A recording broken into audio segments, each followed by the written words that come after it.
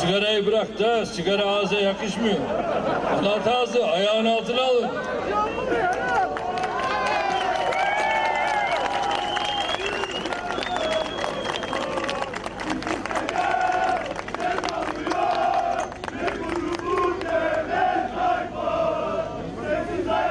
Artık önümüzde bir 2019 Mart'ı var.